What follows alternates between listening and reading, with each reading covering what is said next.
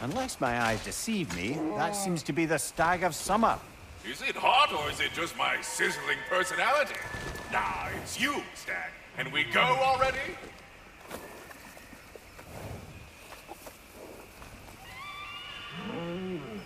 That's all of them. Congratulations. You saved the Nine Realms from death by overgrowth. And you sort of saved my ass, too. No, it was really Venus' fault. That was not our aim. Take what I can get. A job well done. Might as well check in with Ratatoskr when we've got the time.